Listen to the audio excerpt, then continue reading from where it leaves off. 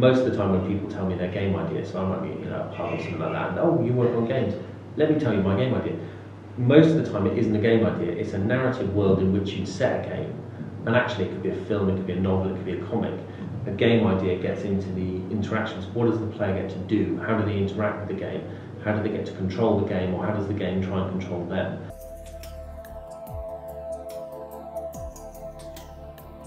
There's a lot of hand waving and then there's a lot of shouting yeah, and moaning. Um, yeah, I mean, I think everyone, you, you discuss it in vague terms, you know, what kinds of games would you like to make?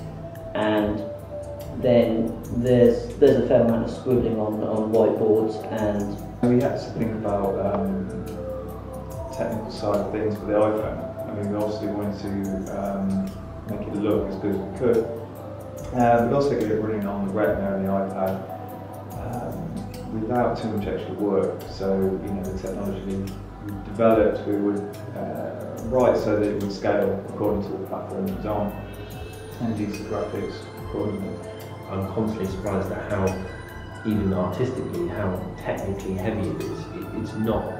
If you're good at drawing pictures, it doesn't mean you're going to be good at making video game art. Or you know, if you're reasonably, it, it takes a lot of discipline, as Stu says, to kind of make this stuff work together. And I think I was lucky enough to find two people to work with who are very, very good at what they do. So individually, they're, they're excellent at what they do, and that that's key. You need that mix of people who bring the different skill sets to the table. I think we all we all pretty much knew the kind of games we were going to do mm-hmm. as a, as a first start. Before we got to that, though, we, did, we had that big concept meeting where we had a number of game concepts on the table, uh, and some of them were, you know, much shorter, sort of two, three month project cycles. Uh, and we, we went through a lot of, you know, did we want to do this? And we, we had games that were much more puzzly, games that were much more sort of, you know, uh, quick to play, sort of casual, uh, and then we settled on the the worst idea of, of the hardcore, longer to make game Yeah. rather than Yeah. the easy to make casual game.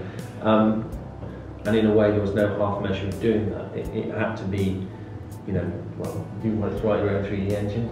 Yeah, it was all or nothing really, wasn't it? We just Yeah. wanted to kind of, um, I don't want to say triple A, but, but I think we felt that we wanted to kind of push it a little bit instead of being a standard kind of iPhone game or iPad game. I think there is there is a, s- a- a slight problem with the, the iPhone market in that there are so many products out there now. Um, if you say, well, let's let's do something that will only take us two or three months, the market is saturated with games on the iPhone that did only take two or three months. They've got a simple mechanic behind them. They're easy to replicate, uh, you know, by other companies. Um, so that that in itself is a risk. I mean, yeah, we, we wouldn't have spent so much time and money on it, but by the same token, it's um, well, I wouldn't necessarily necessarily say it's more unique, but I think certainly there's there's fewer games of that type on the iPhone uh, than you know another Angry Birds or another game where you, you flick a man and he you know flies into a wall or whatever. The game is called Call of Cthulhu: The Wasted Land. It's a turn-based strategy game uh, with heavy role-playing elements in it. Um, it's based on the writings of a cult horror writer called H.P. Lovecraft, who was writing horror around the kind of 1920s, 1930s.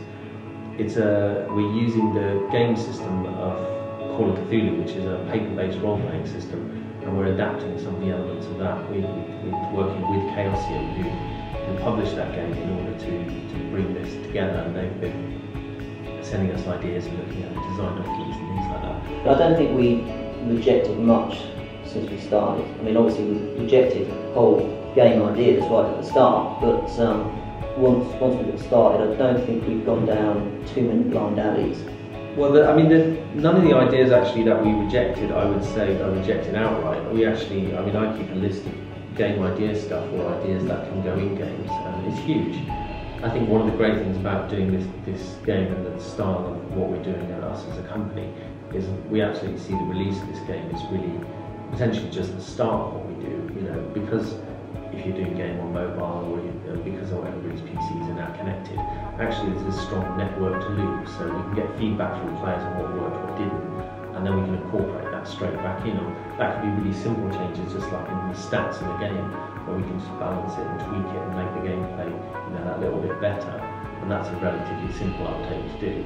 Or it could be bigger things where we're adding new monsters or levels or gameplay modes.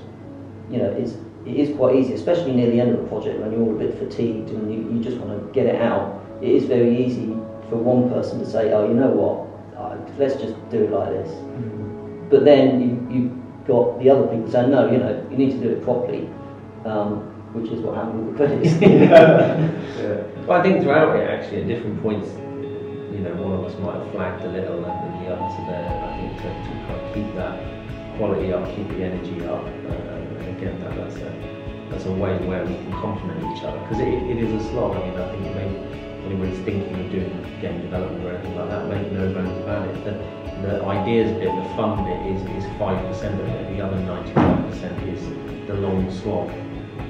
That doesn't make the five percent worth it, but don't be under any illusions how much work it is.